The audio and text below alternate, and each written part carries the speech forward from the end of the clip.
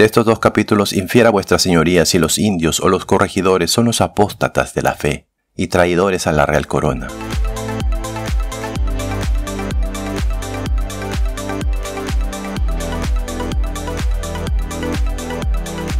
Digo ahora, qué suavidad, qué paz, qué libertades o franquezas, qué requerimientos necesarios siquiera, por una vez hemos merecido hasta hoy día, de la fecha, aún habiendo hecho nuestras embajadas, qué personas de sagacidad y experiencia han venido a guerrearnos, sino nuestros enemigos que son los corregidores, donde estos tres meses de tregua que manda la ley, quienes hasta hoy con tanto econo mantienen las tropas con capa de rey, sino los corregidores, no por amor a nuestro monarca y señor, sino por recobrar sus intereses con mayor fuerza. Se ha publicado en esa ciudad y en otras partes la real cédula de que no haya más repartos, y según cartas que se hayan visto en este país, tarjado y pide por retorno de este beneficio el oprimirnos a fuego y a sangre, que señores obispos y curas u otras personas de dignidad han escapado de su voracidad y perdimiento de respeto, mas la providencia divina nunca olvida los suyos, porque él toma el desagravio por sus manos, pues en la Santa Iglesia de Sangarará, estando colocado el Santísimo Sacramento, degollaron mujeres, de que le resultó al punto la ira de Dios, que como ellos no veneraron el sagrado tampoco el sagrado les valió, y como agraviadores de sacerdotes perecieron sin auxilio de ellos, que aunque les hiciese predicar con un par de mozos por las calles a que se dispusieran como cristianos, porque mi ánimo no fue matarlos, sino recogerlos en una parte, darles mis razones y ponerlos en el camino de la salvación. Pero el cielo por sus altos juicios les cerró el concurso, y por sus propias manos se entregaron a la parca, dando ellos principio a su infeliz destino, el matarnos como a perros sin los santos sacramentos necesarios, como si no fuéramos cristianos, botar nuestros cadáveres en los campos para que coman los buitres, emborracharlos y echar a las tropas enemigas para que los destrocen en pecado mortal, matar nuestras mujeres, tarjado e ilegible, es el modo de atraernos a la paz. Y sujetarnos a la real corona, destruir el real patrimonio que somos los indios tributarios,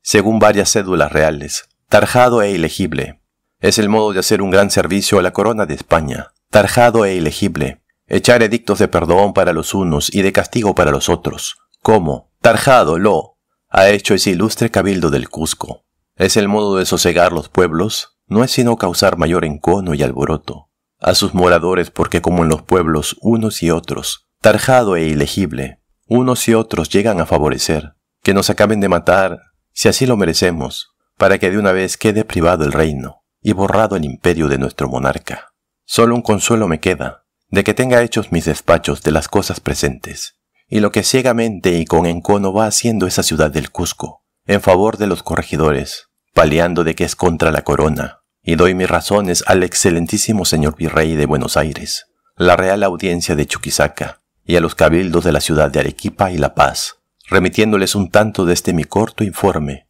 para que dichos señores den razón a su majestad cuando se ofrezca, y quizás siquiera nuestros hijos y descendientes verán la real defensa por las extorsiones tan injustas que se han procedido, sin saber ni examinar de antemano las cosas, pretextando de que somos apóstatas de la fe, y traidores a la real corona, como de lo contrario debo afirmar de los corregidores, como diré, tarjado para qué, para continuar el fomento contra las pobres provincias. Han echado la voz los corregidores de que nosotros queremos o somos apóstatas de la fe, negar la obediencia a nuestro monarca, ilegible, por volver a la idolatría primera, celebrando en mi alma de que los dichos dieran pruebas convincentes a estos dos puntos con documentos, entre renglones, muy señor mío y más venerado dueño de mí, suficientes o testigos de excepción, y fidedignos, más de ellos afirmo, que son apóstatas de la fe y traidores a la real corona. Son apóstatas de la fe porque del todo desechan los preceptos santos del decálogo.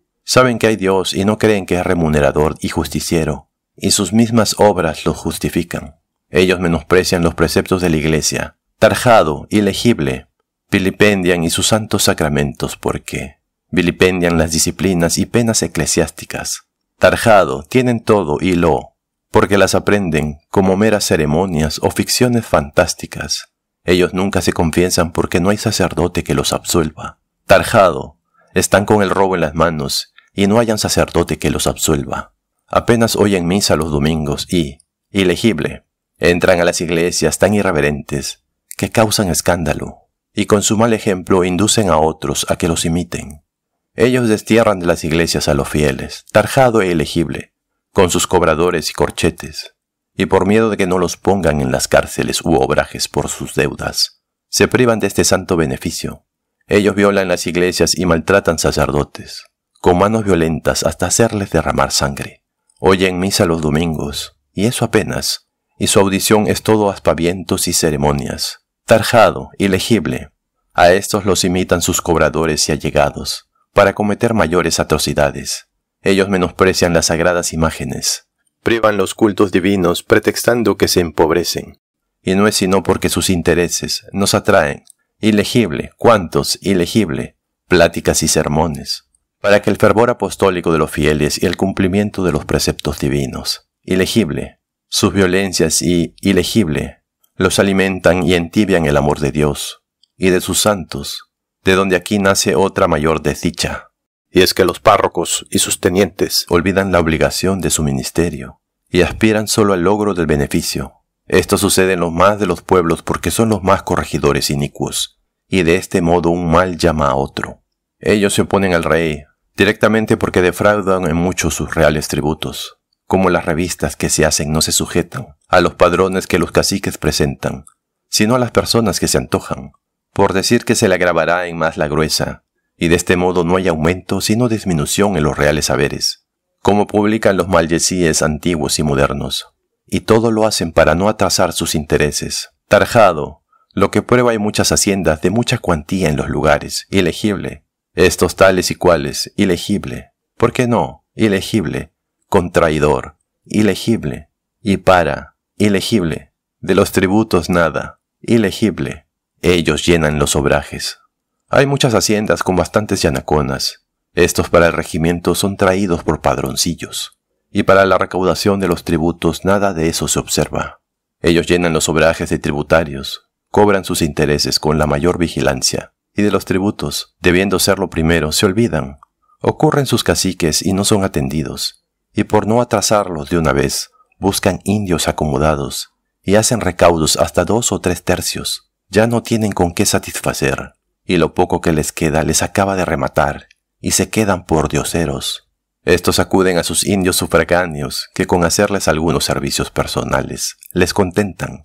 y mejor se arguyen estos la caridad porque les perdona con el fin de, tarjado, perdonarlos, conservarlos, y los corregidores los dejan morir vendidos a los obrajes. Tarjado, cañaverales y cocales, con sus intereses cobran lo que es suyo, con la mayor vigilancia, entre renglones y firmo, lo que realmente no deben, y los tributos debiendo ser los primeros del trabajo de los indios, son olvidados y quitados, ocurren sus caciques y no son atendidos, antes se ven privados de sus bienes, con pretexto de que deben ser tributos, y cuántos de estos se ven por dioseros, porque se ven imposibilitados, y sus indios sufragáneos con hacerles algunos servicios personales.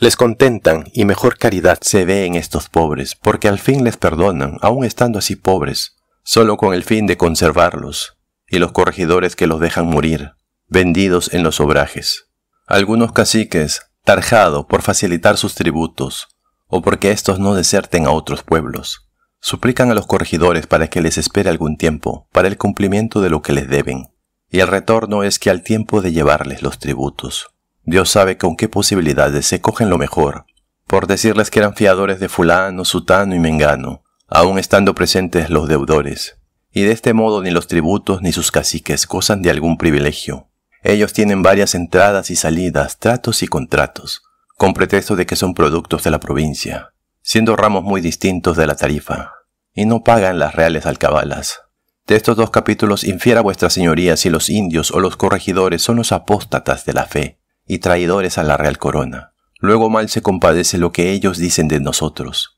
que somos contrarios a la fe y al rey. Entre renglones muy, mando, en. La ley 7, título 4, libro 3 de la recopilación manda, que sean extrañados de las provincias los que las inquietan y perturban, y siendo los corregidores los perturbadores e inquietadores, por ley deben ser desterrados. Por las razones que tengo probadas, se viene a los entre renglones, Mándoselo, Señor, de mi mayor atención. Ojos, una razón conveniente. Es que en el instante y momento, por sediciosos y traidores al rey, deben ser destruidos a fuego y sangre. De aquí nace otra consecuencia de que nosotros matando a los corregidores, entre renglones, muy señor, y sus secuaces hacemos grandes servicios a su majestad, y que somos dignos de premio y correspondencia. Del modo posible llevan sus tributos para el entierro, y por haberle suplicado a él o a sus cobradores, con pretexto de que eran fiadores, se cogen los tributos aun estando presentes los deudores.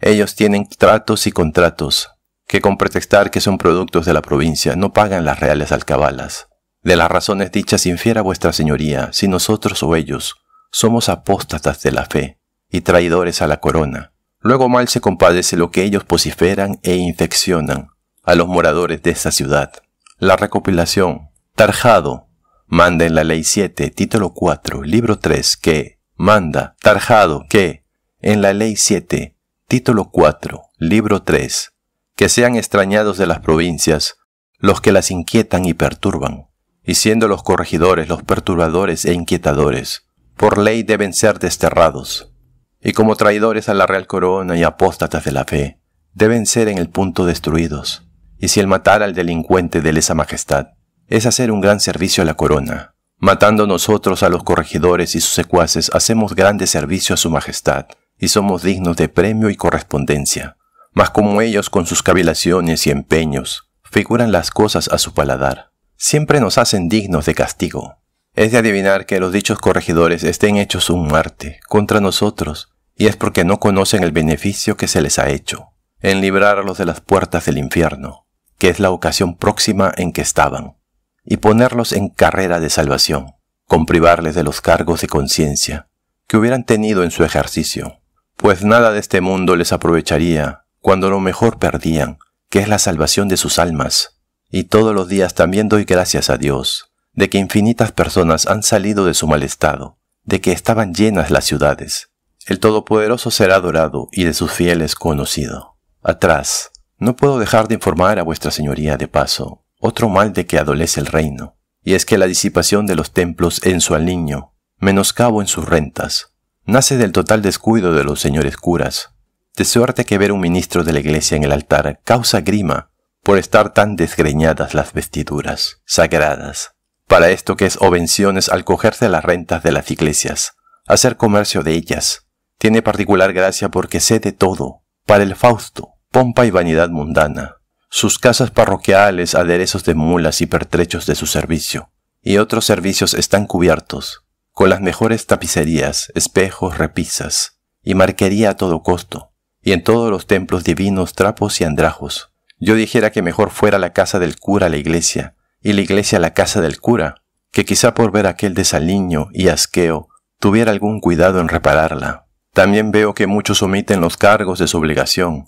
pareciéndoles que satisfacen por terceras personas, cuando es evidente que el pastor propio cuida más bien de sus ovejas que los extraños. Muchos de estos señores no saben la lengua de la tierra, porque no se aplican para aprenderla, pero no sé cómo cumplen con su obligación pues la experiencia nos demuestra que muchos adultos o adultas de 20 y más años no saben ni el persignarse, y como se crearon sin los rudimentos de la fe, en ese estado se envejecen,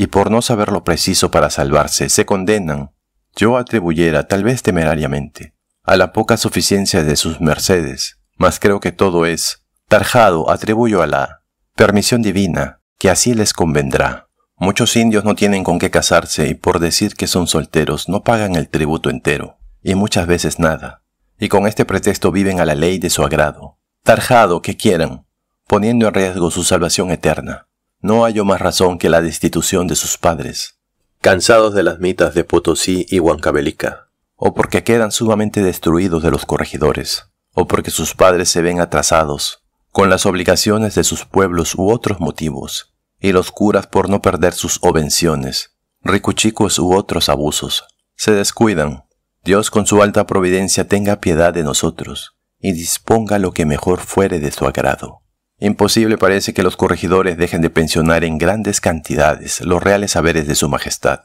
a causa de las circunstancias presentes, aplicándonos como culpados para agravarnos ante la real presencia, más vistos y revistos los alegatos y razones que tengo dadas en todo el cuerpo de esta mi carta. La culpa no es nuestra, sino causa de la precipitación de ellos y de los ministros, que no trayendo a colación las prevenciones reales, han hecho de las suyas sin reflexión, solo a fin de que los corregidores, con mayor fuerza y en cono, regresen a recobrar sus intereses, y con sus atropellamientos volver a alborotar de nuevo las provincias. Aseguro a vuestra señoría que al haber los señores del cabildo u otros ministros ejecutados según ordenanza, nada de esto hubiera habido, y solo repara que en varios pueblos circunvecinos también ha habido fracasos y desastres de esta naturaleza, con los corregidores y precedidas circunstancias, tarjado y han quedado sosegados con la mayor tranquilidad, y solo nosotros alborotados y maltratados. Digo ahora que habrá motivos de perdón para unos y para otros de castigo. Cúmplase en todo la voluntad divina, pues no atribuya otra cosa sino a sus altos incomprensibles juicios. Para mayor prueba de nuestra fidelidad que debemos prestar a nuestro monarca y señor, ponemos nuestras vidas y corazones, tarjado e ilegible, a sus reales plantas, y haga lo que fuese de su real agrado, que somos sus pobres indios que hemos vivido y vivimos, debajo de su real soberanía. No tenemos a dónde volver, sino sacrificar ante esas soberanas aras nuestras vidas, para que con el rojo tizne de nuestra sangre quede, tarjado y elegible, satisfecho ese real pecho. Y si mi poca reflexión me, tarjado, hizo errar, me precipitó en haber enviado embajadores, con papeles disonantes a la real regalía. Castígueme a mí solo, como a culpado, y no paguen tantos inocentes de todos estados por mi causa, pues como hasta hoy no había habido quien, tarjado, defendiese la parte del rey mi señor. A que se guarden y se practiquen sus reales órdenes, me expuse a defenderlo, poniendo en peligro mi vida. Y si esta acción tan heroica que he hecho en alivio del Perú, buscando de este modo el sosiego de este reino, expeliendo a los traidores corregidores para mayor adelantamiento de los reales tributos, a que de este modo se aumente el real erario, y en caso necesario aun con ayuda de sus españoles, a que están prontos, porque como somos sus reales vasallos, debemos propender en todo, y por todo el real servicio de su majestad, que todo es honor nuestro y gloria de esta nación. Tanto tengo que decir a vuestra señoría, mas la precisión del tiempo no da lugar, y para hacer varias representaciones a la Real Corona de España. Espero de la benignidad de Nuestra Señoría me despache uno o dos letrados, peritos, desapasionados, quienes haciendo juramento de fidelidad a la Real Corona, vengan como nuestros protectores, a dirigir y gobernar nuestros asuntos, pues tenemos de dar nuestro descargo a Su Majestad. Pudiéramos decir o decir cosas tan diminutas o excesivas que repugnen a la razón, porque carecemos de instrucción, también suplico y ruego a vuestra señoría que me vengan sacerdotes de pública virtud, fama y letras, para que el populacho dé a entender que los corregidores no son Dios para ser tan adorados, que solo el Todopoderoso es el Dios Señor de nuestras almas, en quien espero a quien ruego continúe la salud de vuestra señoría, por felices y dilatados años, para el bien de estas sus provincias. Tinte y marzo 5 de 1781. Repárese los reales haberes y defendiese la parte del rey, mi señor, a que se guarden y practiquen a la letra sus reales órdenes. Me he expuesto a defenderlo como descendiente de los reyes incas, señor que fueron de estos reinos, en demostración de la grande fidelidad, amor y sentimiento que debo prestar y presto a la real corona de España,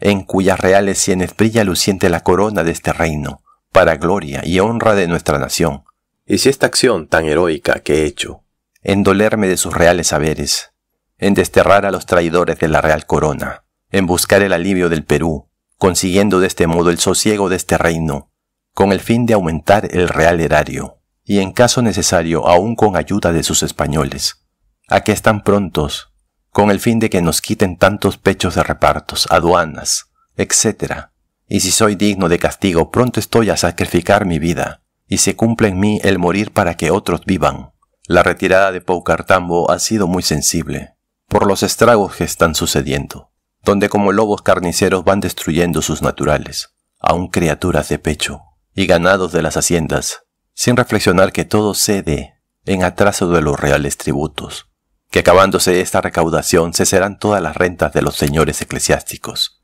y cabildos de todos estados, porque su majestad no tiene otro ramo con qué sustentarles el beneficio y acabado el reino será inútil todo este territorio a su señor natural. Tengo que hacer a vuestra señoría varias representaciones, conducentes al servicio de su majestad, más la precisión del tiempo y los reparos que tengo que hacer para contener las tropas enemigas. No me den lugar para decir todo lo que siento, y cómo este giro de mi destino ha de llegar a los reales oídos por las vías y manos de los señores a quienes tengo ocurridos, Espero de la benignidad de vuestra señoría me despache uno o dos letrados, peritos, timoratos y desapasionados, quienes haciendo juramento de fidelidad a la real corona, y a esa ciudad vengan como nuestros protectores a dirigir y gobernar nuestros asuntos, para que pasados por vista de vuestra señoría y de todo el congreso de esa ciudad, de mis descargos a su majestad, porque como no hay sujeto de instrucción en estos lugares, pudiéramos pedir cosas tan diminutas o excesivas que repugnen el real agrado. También suplico a vuestra señoría me despache la bula de la Santa Cruzada para estas provincias, que a más de ser la medicina de nuestras almas, también es ramo real, a que debo estar al reparo como su leal vasallo, y sacerdotes de pública virtud, fama y letras, para que dirijan mis asuntos en lo espiritual y den a entender al populacho, que los corregidores no son dioses para ser tan temidos y adorados, y que solo el Todopoderoso y Creador de cielo y tierra es el verdadero Dios y Señor de nuestras almas, en quien espero y a quien ruego continúe la importante salud de vuestra señoría, por dilatados y felices años para el bien y reparo de estas provincias. Tinta y marzo 5 de 1781.